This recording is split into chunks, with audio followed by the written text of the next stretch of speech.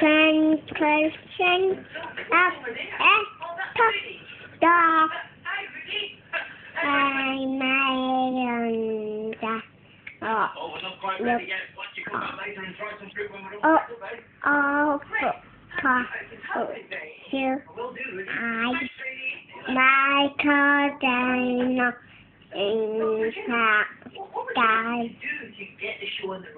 To get the show on the road? He taken the have to do something to cast dog. And I to show. Uh,